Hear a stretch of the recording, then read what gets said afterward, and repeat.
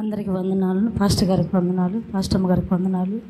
మరి నా సాక్ష్యం ఏంటంటే మా జీవితంలో దేవుడు ఎన్నో మేలు చేశాడు. మా మా పరిస్థితులు ఎలాగుంటాయంటే ఒక్కరోసేపు సంతోషంగా ఉంటే ఒక్కరోసేపు బాధ అన్నట్టుగా మాకు ఇంట్లో పోరాటాలు.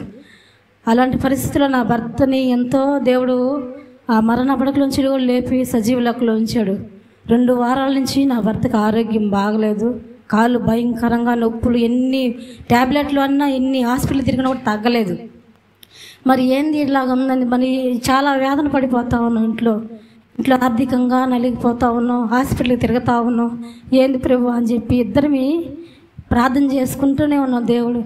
మరి బలంగా దేవుని దగ్గర నానా ఆయనకి స్వస్థత కలిగి చేయి తండ్రిని రెండు వారాల నుంచి ప్రార్థన చేస్తూ ఉన్నాం. మరి సేవకులు కూడా ప్రార్థన చేస్తూ ఉన్నారు మా కోసం. సంఘమంతా చేస్తూ ఉన్నారు.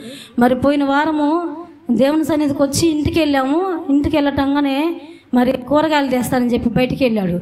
వెళ్ళి ఇంటికి వచ్చి కూరగాయలు అక్కడ పెట్టి అక్కడ కూర్చొని గుండెల నొప్పి అని చెప్పాడు. భయంకరంగా ఊపిరి ఆడకుండా అయిపోయింది. మరి మంచం మీద అలాగే కూర్చొని ఊపిరి ఆడకుండా ఉంది. మరి ఏం చేయాలి ప్రభా? మన దగ్గర చేతిలో డబ్బులు రూపాయి లేదని చెప్పి ముందే హార్ట్ ప్రాబ్లము ఆయనకి ఆరోగ్యం బాగుంటలేదని చెప్పి నాకు ఒక్క క్షణం అయితే అసలు ఏం అర్థం కాలేదు అసలు. ఎట్ట చేయాలి ప్రభా అని. మరి ప్రేరాయలు తీసుకొని ఆయన గుండెల మీద అట్లాగే తాకి ప్రార్థన చేశాను. దేవుడు మహాకృప ఆయన మీద నుంచి స్వస్థపరిచాడు.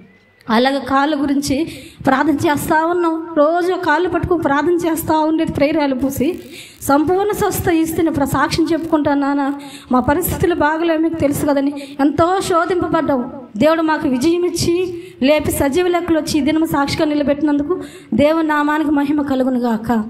పాస్టర్ గారు.